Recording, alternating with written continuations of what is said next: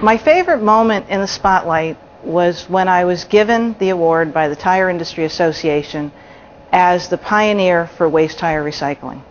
Because I got to think back about my grandfather who started a small tire retreading facility next to his gas station in Middletown, Connecticut in 1932. And then I was building $100 million power stations. What it showed was that we are a country of successful people and we can do what we want if we put our minds to it.